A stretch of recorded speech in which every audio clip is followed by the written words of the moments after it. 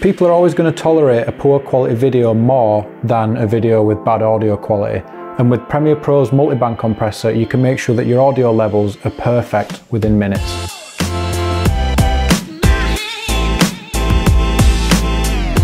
Hi guys and welcome back to Editor's Life and today we're going to be taking a look at audio compression inside Premiere Pro. Now I don't know about you but if I'm ever caught in the endless 2am social media video scroll and I come across something that's too loud or too quiet, I'm just not going to give it the time of day no matter how good that video might be. So getting your audio levels in that sweet spot is not only important if you're creating work professionally, but it's also important for people creating social media videos. So part of being a video editor is not only making sure that you're good at the editing side of things, you know, shot selection and making sure it looks nice, but audio levels, which are often overlooked, are really important. And if you look at this dialogue clip here, you'll see that it's very quiet at the beginning, the waveform shows that it gets louder in the middle, and then it goes quiet again at the end. You know, people who are new to Premiere Pro, they might try fixing this by right clicking, going to audio gain, and seeing, oh, I'm a little bit low, so I'm gonna just pump it up. But all that does is raise the overall level of your audio.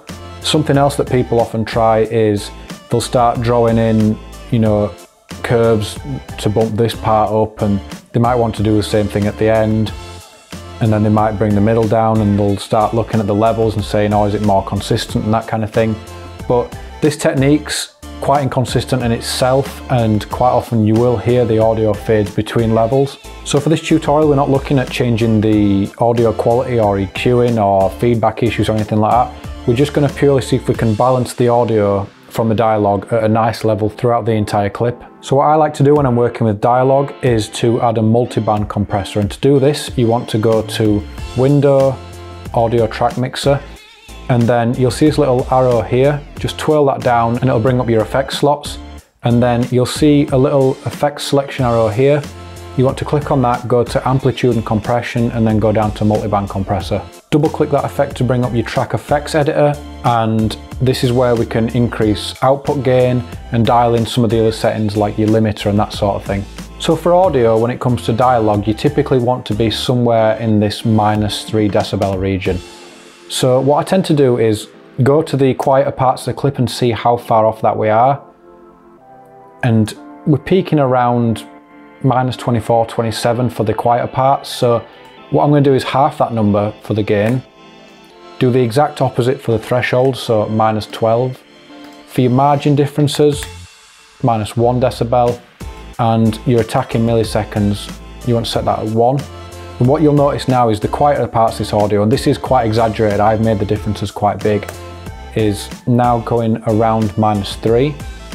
The louder parts are starting to peak a little bit, so a way to get around this is to simply just roll your channel back a couple of decibel, minus two is absolutely fine in most cases. And you'll see we're kind of minus three, minus five for the quieter bits. You know, we're getting up there to the zeros for the rest, but overall, the audio is a lot better balanced than before when we were at minus 27 compared to minus three.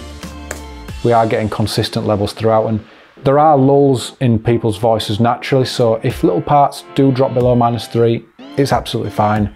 It's just the differences between the, the loud parts and the quiet parts that you want to bring closer together. So when working with multiband compressors and audio in general, if you start adding, you know, music tracks, sound effects, that sort of thing, because your audio levels are so consistently high for your dialogue, you might want to also just stick a little bit of a multiband compressor on the master mix channel. And for this, just one will do, minus one, minus one and one. It's the same as before, but we've just pulled the gain right back, minus one on there. And even if you start adding, you know, music tracks to this now, you're not going to be peaking, you're not going to be having distortion, and your audio levels throughout the entire mix are going to sound a lot better. I've got a few more audio related tutorials for Premiere Pro in the pipeline, so for those of you that have made it this far, hopefully it's something worth subscribing for. If you found this tutorial useful, you could help me out by leaving a like on the video and I'll catch you in the next one. Cheers.